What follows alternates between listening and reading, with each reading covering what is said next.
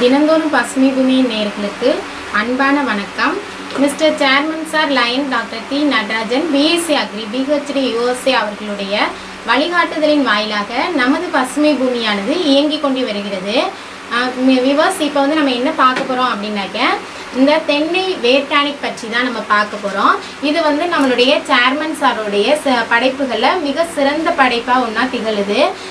இன்றைக்கி வந்து நம்ம வீடியோஸில் பார்க்குறது என்னென்னா இந்த தென்னை மரத்தில் வந்து இந்த நம்ம வேர்டானிக் வந்து எப்படி வந்து பயன்படுத்துறது இதை ஏன் வந்து நம்ம பயன்படுத்துகிறோம் இதற்கான அளவு முறை என்ன இதில் வந்து என்ன சத்துக்கள் இருக்குது அப்படிங்கிறத பற்றி தான் நம்ம ஃபுல்லாக பார்க்க போகிறோம் விவர்ஸ் இப்போ வந்து நம்மளுடைய தென்னை மரத்தில் வந்து பாலை வந்து நமக்கு வந்து வரல.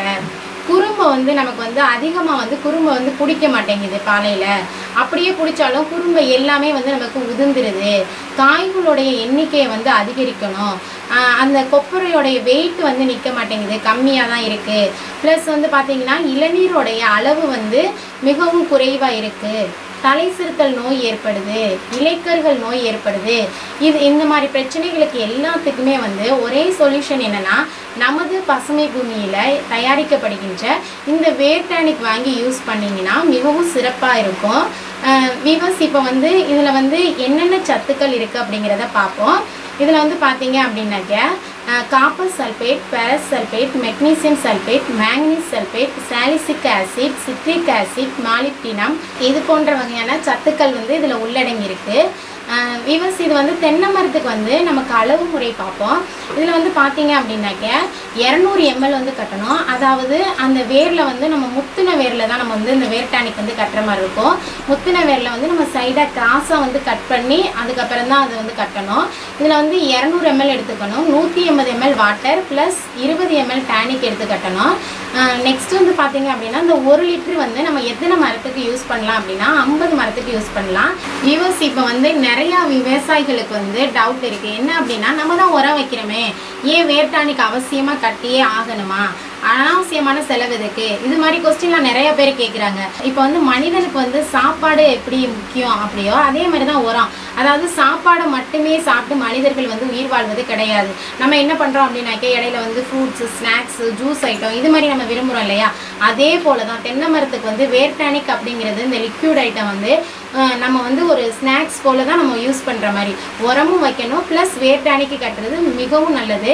இதில் வந்து பார்த்திங்கன்னா நம்ம வந்து த்ரீ மந்த்ஸுக்கு ஒன் டைம் வந்து இந்த வேர்டானிக் வந்து மரத்துக்கு வந்து யூஸ் பண்ணணும் விவர்ஸ் இதே மாதிரி நம்மள்கிட்ட வந்து லிக்யூட் ஐட்டமான பஞ்சகவ்யா மீன் அமிலம் இயற்கை முறையில் தயார் பண்ணப்படுறோம். நெக்ஸ்ட்டு வந்து பார்த்திங்கன்னா இது மட்டும் அல்லாமல் நம்மகிட்ட வந்து வண்டு பிரச்சனைக்கான அந்துருண்டை இருக்குது நெக்ஸ்ட் வந்து மரம் ஏறும் கருவி இருக்குது நம்மகிட்ட. சிறியவர்கள்லேருந்து பெரியவர்கள் வரையும் ஆடும் ஊஞ்சல் இருக்குது நம்மகிட்ட. தேனி பெட்டி சிறு குழந்தைகளுக்கான தேன் இருக்குது வாத்து கோழி மரக்கன்று பழக்கன்று பூச்செடிகள் எல்லாமே நம்மளுடைய பசுமை பூமியில் கிடைக்கிது.